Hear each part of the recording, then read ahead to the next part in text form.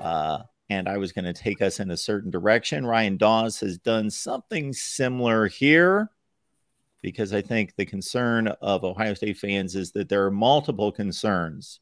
It's not like if we fix that, everything's going to be fine. It's, well, that, that, and we don't know about that. Ryan says here, does one side of the ball need to have a more complete game against Western Kentucky in order to alleviate some fears prior to facing the Fighting Irish? Obviously, it would be fantastic if both could have great games.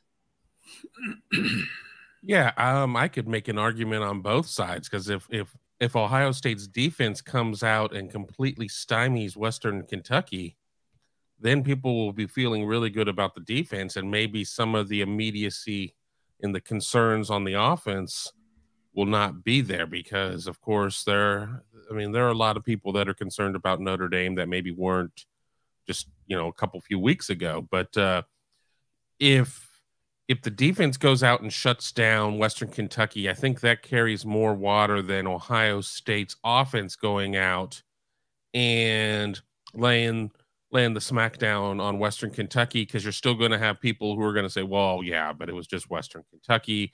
It's a you know it, it's a team that was down, you know, down much of the first half against USF and didn't necessarily really put away Houston Christian the way that it should have."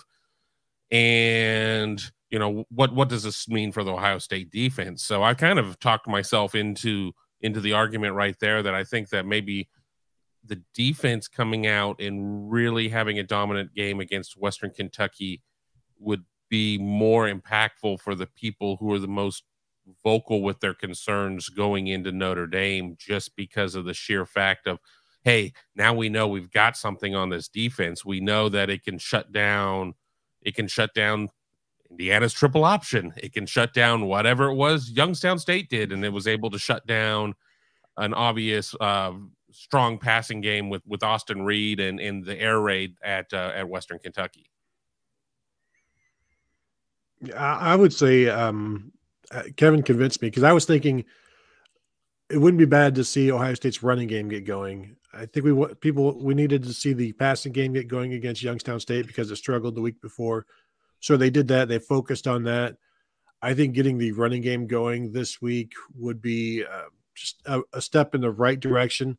But again, it, what does it mean when you're going from Western Kentucky's defense to Notre Dame's defense? Probably not a lot. And if they run for 250 yards in this one, that doesn't mean I think they're going to run for 175 against Notre Dame. I I won't have much of a say, much of a, an opinion change on how they're going to run against Notre Dame until I see it in action in the first quarter.